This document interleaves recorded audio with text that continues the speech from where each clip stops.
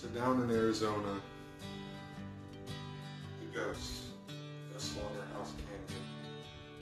Who are they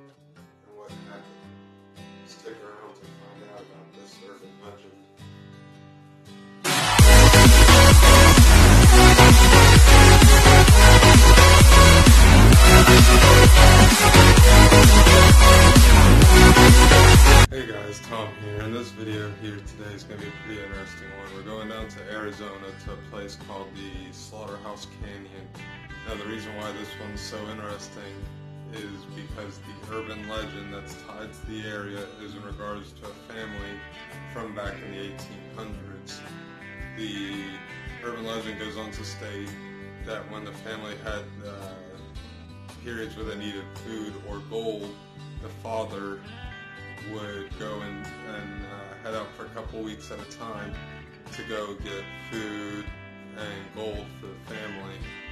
Now, the legend goes on to state that there's a time frame where the family had uh, waited for the father. The father left to go get food and some gold like usual, but he ended up never coming back. And if you know how canyons work, when you scream loud enough, you can hear your screams echoing throughout the canyon. And the legend goes on to state that over time, the family started to wither away from starvation, and the kids would be screaming and freaking out because of the hunger. And the mother eventually grew tired of listening to her kids screaming due to hunger and everything, and she ended up murdering the kids before killing herself. Now, the legend doesn't state anything about what happened to the father, but they're saying that when you visit the canyon, you can still feel the feeling of anguish in there, and if you go there on a night when the air is still thick, they're stating that you can hear the kids screaming in the canyon.